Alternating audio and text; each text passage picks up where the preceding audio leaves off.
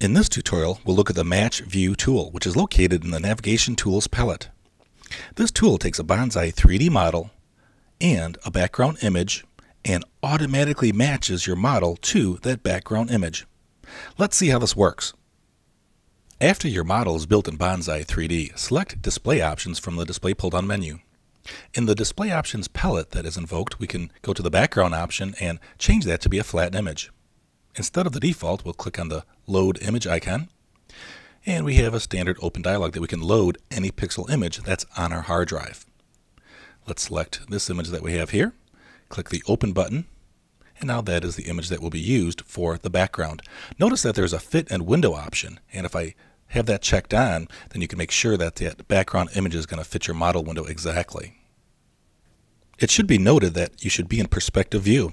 If not, choose Perspective from the Views pull-down menu. We are now ready to have Bonzai 3D match our model view to the view of the background image. All we need to do is use the Match View tool to select points on the 3D model and link them to points on the 2D background image. Click on the Match View tool to make it active. First, click on the object by snapping to a point on the geometry. Then your second click will be clicked in the background image. A dotted connecting line is rubber banded between them. In the Tool Options palette, there's also a magnification window, which lets you zoom in close. So if we re-click on that cross, you can see we can move it anywhere along the background image.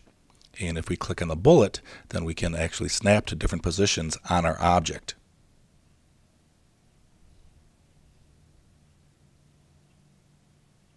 You need to select at least three pairs of points, but preferably four or more. So let's add a couple more pairs of points. I'll click on the top of the column, and then I'll click in the 2D image in the background. Let's add a fourth pair of points by clicking to the top of this column, and then I'll click on the 2D image in that area. To be able to reach the points you wish to link, you can use the View tools, any of the View tools, for an unobstructed view. Note that the model should be positioned by changing the view only.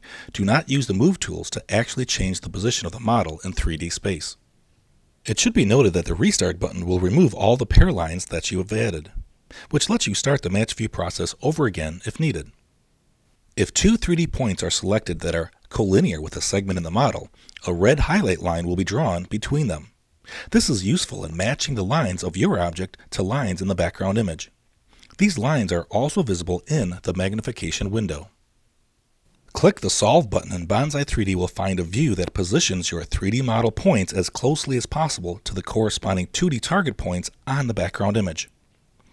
If the resulting view match is not satisfactory, then use the View tools to change the view and continue to drag pairs of points and or add more pairs of points. For example, we'll add a couple more pairs of points by lining up the back column with the background image.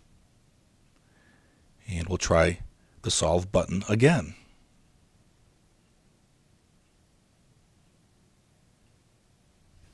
When the match is acceptable, simply click another tool to deselect the Match View tool and the matched view remains on the screen.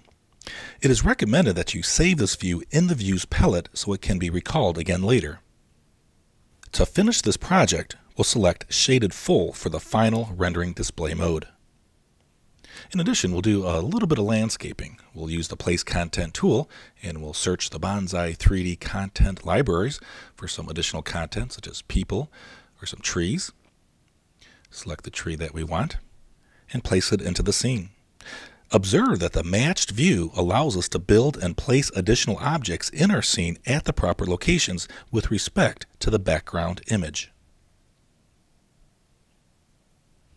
And here's the final scene with our Bonzai 3D model matched with a background image. This concludes the Bonzai 3D Match View tutorial.